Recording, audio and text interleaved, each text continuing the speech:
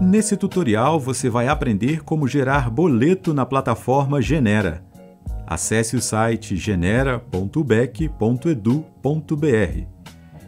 Insira o e-mail cadastrado junto à secretaria e clique em Acesso Direto. Digite a sua senha e clique em Entrar. Clique em Sala de Aula. Aparecerá uma janela com seu nome no topo e abaixo os nomes dos seus dependentes clique no dependente que deseja gerar boleto.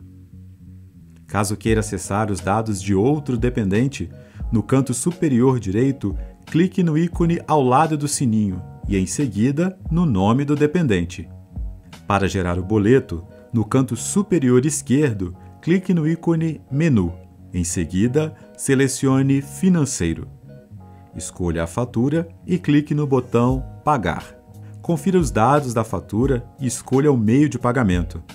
Você poderá pagar por cartão de crédito ou boleto bancário. Escolha a opção Boleto Bancário e clique em Confirmar.